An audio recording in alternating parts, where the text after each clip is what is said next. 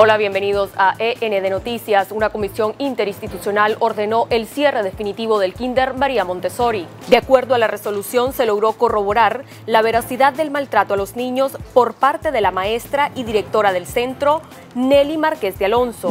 El científico creador de un robot con apariencia humana brindó una ponencia en Managua sobre robótica. El japonés Hiroshi Ishiguro presentó a los estudiantes de la UCA uno de los Geminoids, un robot capaz de interactuar con los humanos. En internacionales, al menos 142 personas murieron en tres ataques suicidas contra dos mezquitas en la capital de Yemen. El Estado Islámico reivindicó los atentados a través de un comunicado difundido en Internet.